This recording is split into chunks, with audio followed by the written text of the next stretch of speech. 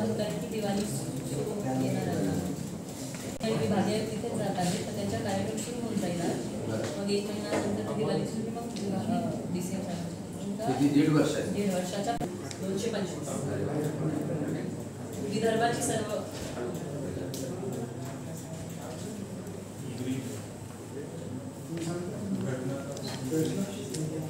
जो भी अभी तक की सिचुएशन रही प्रयत्न करतो आहे त्यासाठी मीटिंग घेतल्या गेली.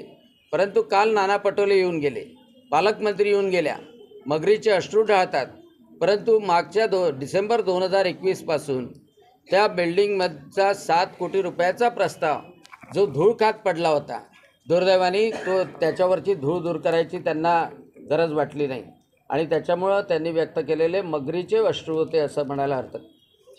काल जी घटना झाली त्याचं गांभीर्य राज्याचे उपमुख्यमंत्री देवेंद्र फडणवीस साहेब स्वतः जिल्हा अधिकारी सी एस माझ्या डॉक्टर बोंडे साहेबांच्या सगळ्यांच्या संपर्कात होते.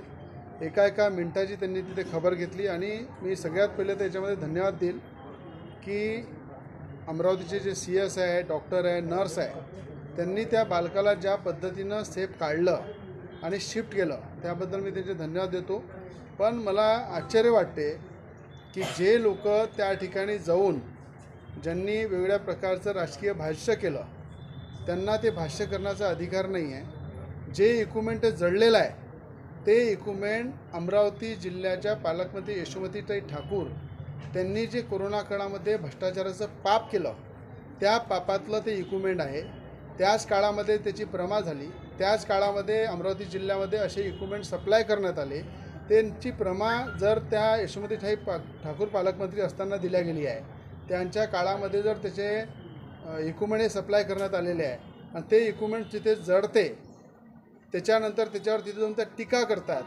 मला असं वाटते स्वतः म्हणजे कुठल्याही गोष्टीला रेटून कसं आपल्याला खोटं बोलता येईल अशा प्रकारची परिस्थिती दिसलेली आहे आणि आज ही तातडीची बैठक त्या ठिकाणी लावली.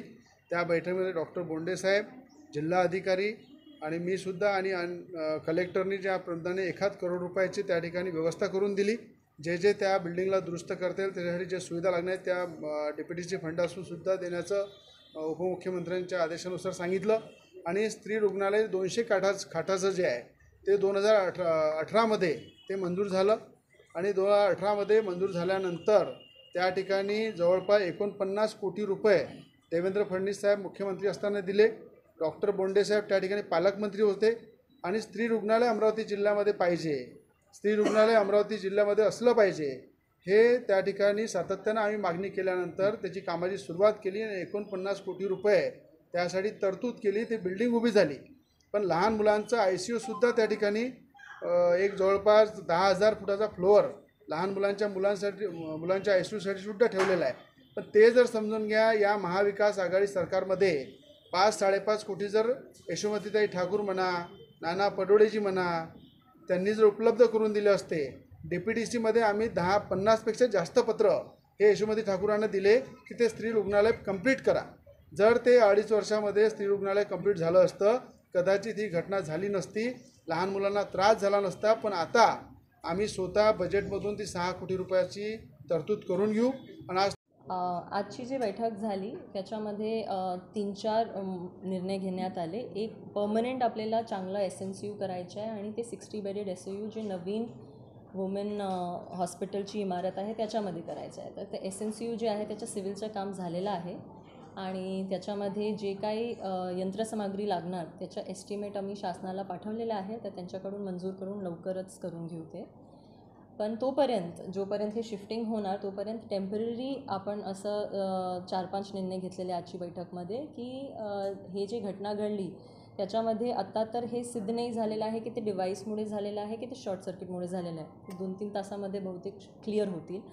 परंतु तरीही आपण इलेक्ट्रिकल ऑडिट डी पी सीमधून करून घेणार आणि जे काही बदल करायचे आहे इलेक्ट्रिकल पूर्णपणे ते बोर्ड्स आणि वायर्स आणि जे काही आहे तर त्याच्या एस्टिमेट संध्याकाळपर्यंत मला पी डब्ल्यू डी इलेक्ट्रिकल देत आहे. तर ते पण आपण डी पी सीमधून करून घेणार. त्याच्याशिवाय जे व्हेंटिलेटर जळलं त्याच्या पर्यायी व्यवस्था म्हणून नवीन व्हेंटिलेटर पण आपण नवीन घेत आहोत.